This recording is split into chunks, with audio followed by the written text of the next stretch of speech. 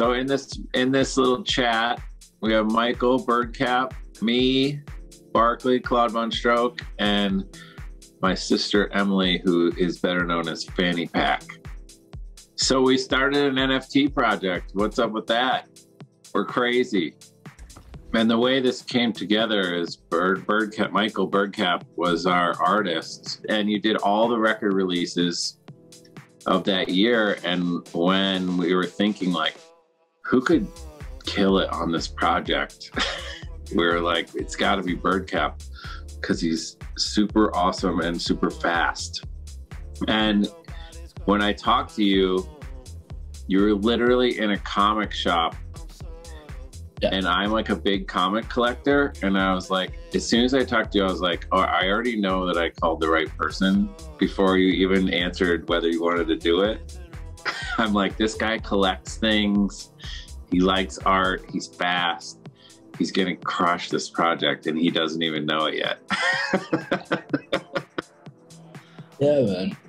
Uh, I was trying to get the newest Ninja Turtle comic. It's, I mean, the the whole idea of like the the levels of rarity is pretty on board with everything I spend my money on, like from Magic the Gathering cards to like uh, alternate cover art for dumb comic books. Like, it's very, very up my comfort zone on like where people put money.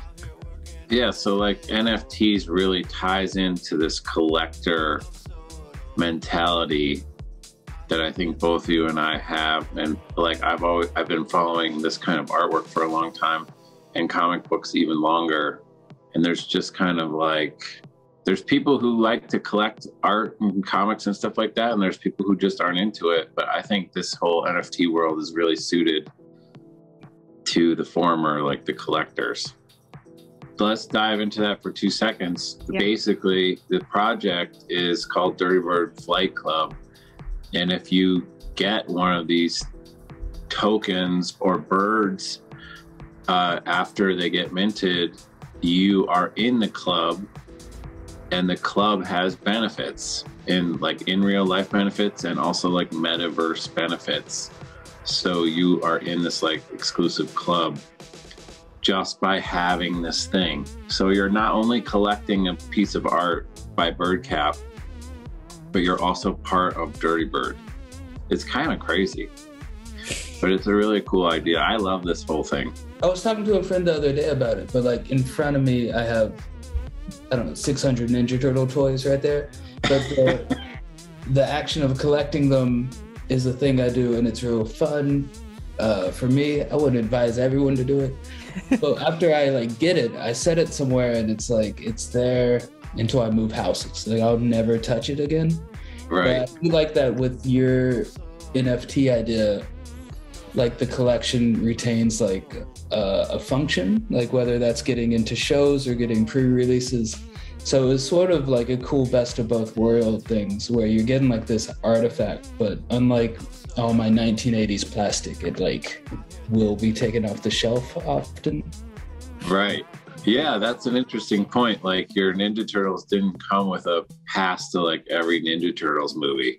no, everyone gets upset if I bring them with me anywhere. So uh, but yeah, I just like that they do have a functional aspect. Like I collect things that are strictly non-functional, and I think that's okay too. But it yeah. is interesting and sort of like practical, like progression on that motif where you do get common, uncommon, and rare things in these like digital booster packs.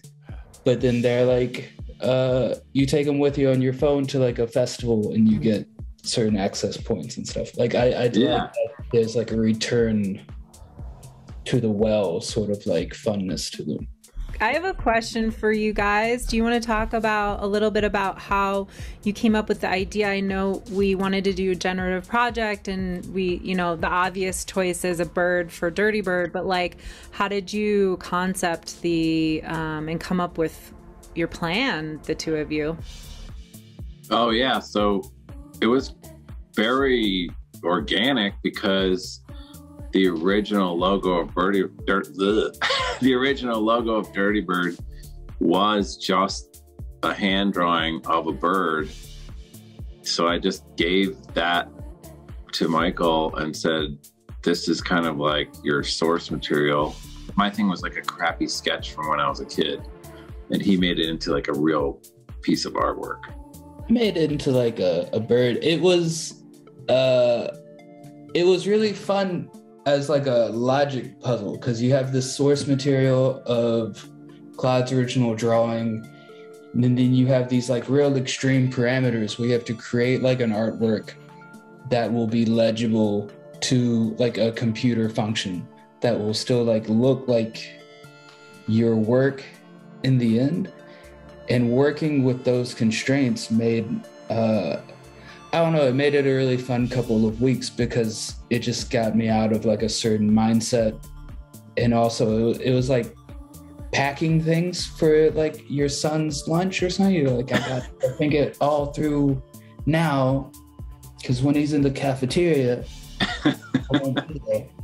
Um, and so that was super fun. It was also cool. Like we got to talk back and forth. I sent you a lot of them while they were in process, and so each drawing would get like slightly altered or added on to, or one idea would start another idea. And so it was really, it was a way different process because I got to bounce the idea off of you, and then you had sent me like a a pretty deep list of like ideas and references that like if I was like sort of got through the ideas that I could come up with that day, but I still wanted to draw. There was this like autopilot list of like, oh yeah, I don't have to come up with everything. There's like I can Right.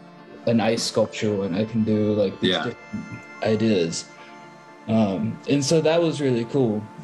Um, and then yeah, just solving for the same thing. It's like when you have like I don't know, reduced hip hop beats and shit. Like when you have these like really limited constraints, I think the stuff you do to change it up becomes really like wild and creative. Yeah. What was your process going on in your mind, Michael, in terms of like understanding that this is an NFT and like wrapping your head around that bit of it? Like, how much did you know before and how much have you learned since? Um, I knew nothing about like I knew it was a thing, um, and I was like, this is like a thing that requires knowledge, and I don't have knowledge, so I'll just stay away from it. And like as it was like getting big, and like acquaintances of, of mine were really like investing big into it, I was like. I was getting into like mosaic. I think when like new things come out, I get scared and just go into really old things. Um, and so I had sort of decided I'd probably never work in that space. And I would say like Dirty Bird was probably one of the only people who could have called me with the idea of doing one as a collaboration that I'd have said yes to. And it was just because, uh, you know, I'd worked with y'all for like a year. I was treated really well. Like I had, I have like faith in that relationship. So I figured if it's something y'all were nominating, then it was something that I could probably like have good faith in. kudos to you. You actually kind of had to be like a little bit trusting because you're also just throwing up a bunch of parts that are just going to be generative and you're not even really controlling the outcome.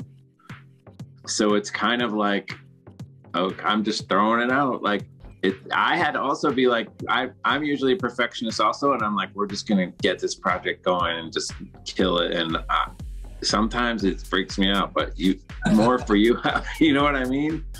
It's really strange to like usually the longest part of a drawing is staring at the last 3% of it that no one cares about. But that's the part you stick with and you're like, ah, Yeah. if it's slightly more pink, this will be great, I guess. but it, like it's silly, but that's the part. And so that's the one part I have no relationship with in this project. And like our our programmer, it's literally like I send him like chicken bucket pieces where I'm like, I got 13 thighs for you, and some tenders, and some biscuit backgrounds.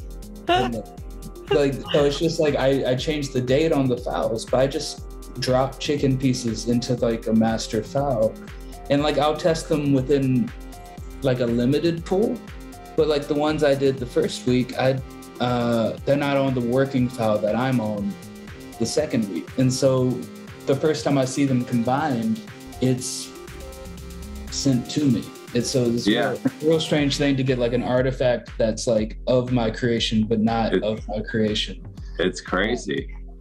Is it? I mean, I don't even know how it would feel if someone said, "Hey, just make me a hundred loops, and then I'll send you all these finished tracks based on your loops, and I'll and I and you just have to be cool with it."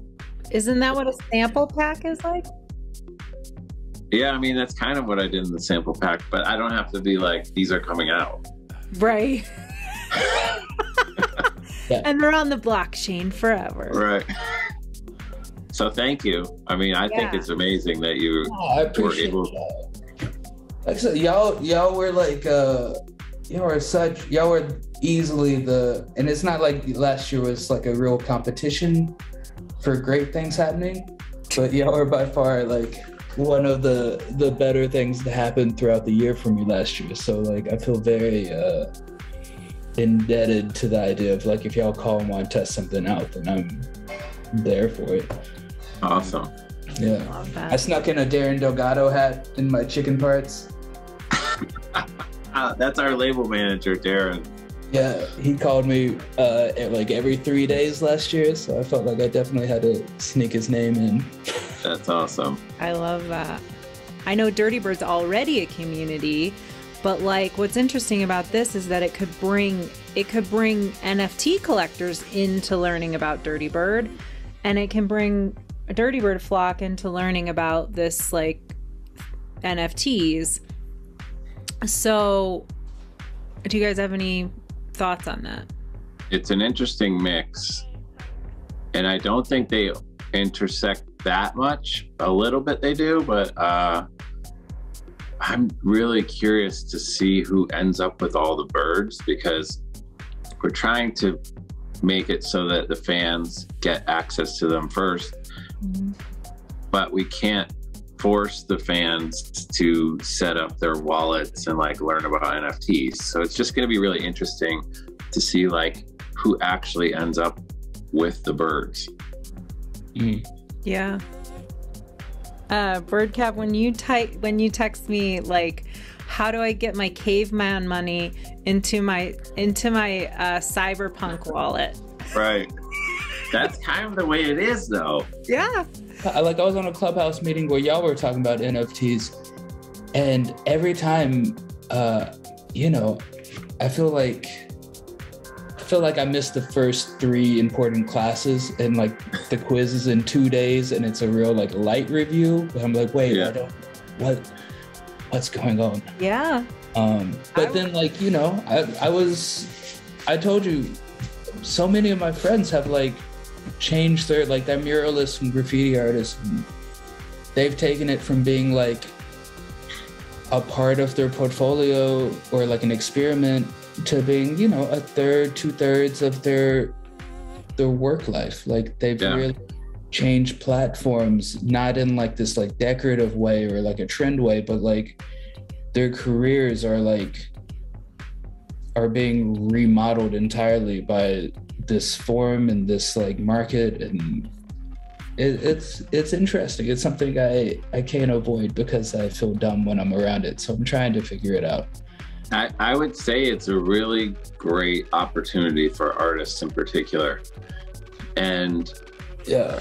it's a just a big shift in the mentality of like what art is worth in the general public.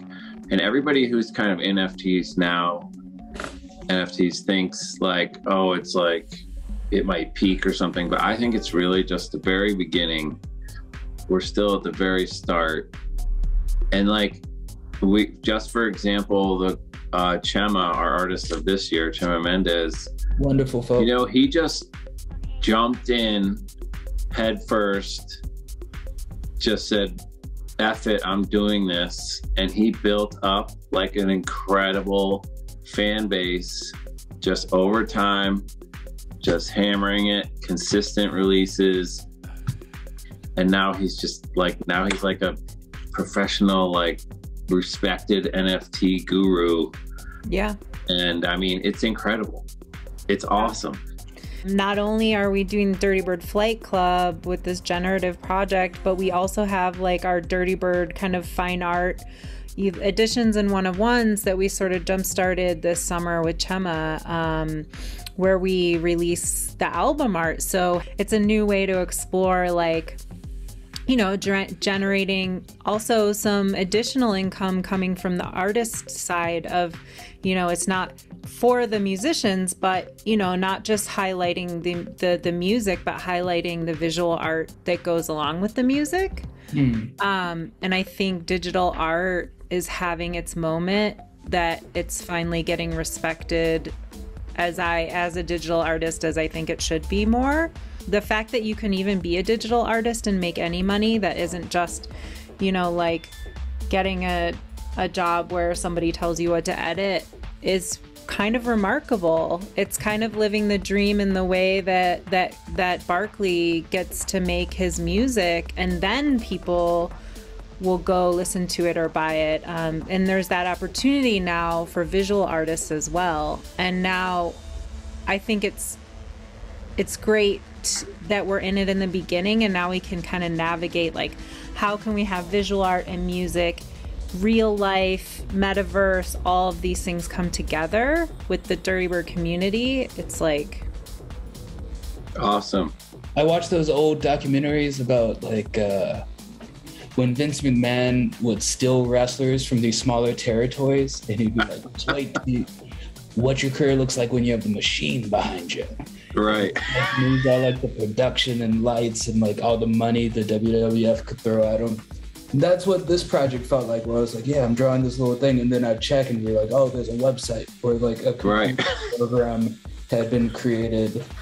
Yeah, we had to build. I don't really know any of that other shit. Like I can just draw cartoons. Uh, so it was cool. It felt like I was like, you know, in the WWF. I guess that's a yeah. It's not the project's not for the light of heart. If you want to make one of these, it's not. You can't just throw it up. Like there's a lot of people that have to be involved in the project, from running the Discord server to coding the algorithms that make the generative birds, minting it on Ethereum blockchain, social media. Like there's a whole, it's not just like, oh, let's just throw this thing up on the internet. Like it's just like everything. You have to actually do the second part after you make it.